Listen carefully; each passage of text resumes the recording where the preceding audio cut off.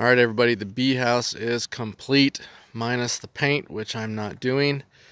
Uh, I'm building this for another fella. This is identical to my bee house. If you've seen it, I'll give you a walk around. So you got the front door. Uh, here's the first entrance to the first hive. This is the unique door handle that the customer wanted.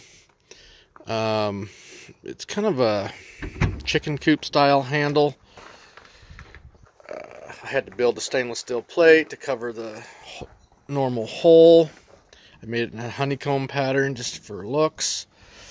I had to build a little bar here uh, just for a latch. we'll move around to the, we'll just go ahead and do the outside. I did little roof vents in this one, attic vents, uh, one on each side. So here's the porch area. Um, you can see it's all treated lumber. Uh, anywhere that's going to be susceptible to major weather. I got another entrance right there uh, for the second beehive. You may ask yourself, well, the bees have, pro have problems getting into that. No, I have one on mine. The bees do just fine getting in and out of the porch area. Uh, coming around to the back side of the cabin, you got three hives across that back wall. Entrances, uh, the uh, attic ventilation system is all in. Of course, I trimmed everything out in one by fours. Um, and the so that's three, four, five, and this is the sixth hive on the the far end, opposite of the porch area. This little bee house has a metal roof the customer wanted. We got that all done. It's uh, really nice. I like the color. It's called taupe. It's a really nice kind of uh, cream, creamy grayish colored metal roof. Uh, the customer is going to paint this to match his home.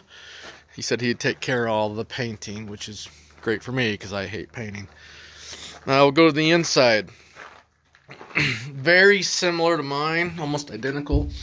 Uh, one thing that I wish I had in mind that I did in this was linoleum flooring just for cleanup. Uh, you get dead bees, you spill honey, you know, as you're pulling out comb.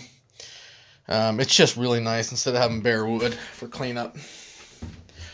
The hives are identical to mine. They're six foot tall hive bays. Uh, each each uh, frame rest will hold four frames deep.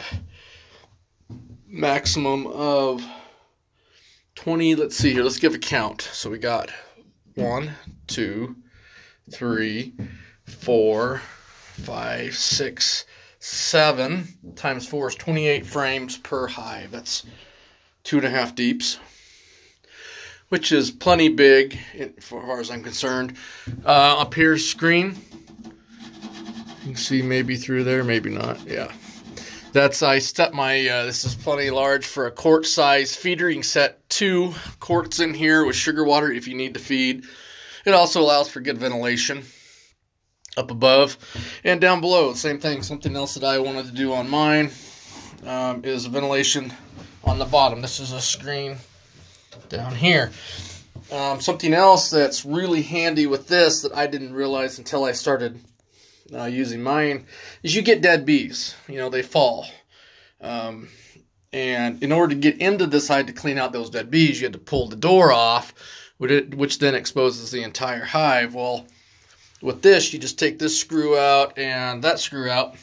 This little bottom section come out. I stick my little vacuum in there. I vacuum them up or sweep them out without disturbing the rest of the hive. Very handy. Um, so anyway, so there's there's six of them identical to that all around this building inside. In this hive, we put a four foot LED light. Oh, I don't have the building plugged in right now. Uh, so it's really bright in here with that light lit up. This I built, I put an outlet in up here for your thermostat heater control. um, that way you can hang it up on the wall, it's out of the way. And then I have a separate outlet down there for whatever uh, you want to run off of that. Maybe a vacuum or something, and then the light switch. I do have one outside outlet right there, weatherproof outlet. So how I did power on this is I figure a lot of people want to just drop this off somewhere and plug it in. So that's how I rigged it up. Just you just plug it in. You park, park this on some blocks somewhere, level it, and then you just run an extension cord out and you plug it in. Any, there's really doesn't, no, not much draw.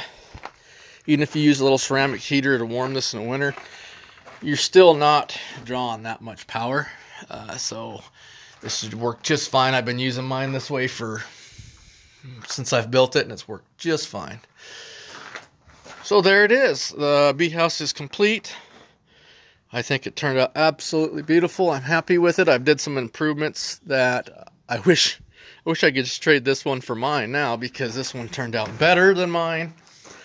Um, it has the improvements that I I would like to have done on mine. Uh, it's all OSB, as you can tell, uh, half inch OSB inside with insulated. It's fully insulated. Anywhere there's not a beehive, and all these walls, the ceiling, everything is fully insulated. So it, it shouldn't be too difficult to heat it, especially being such a small space.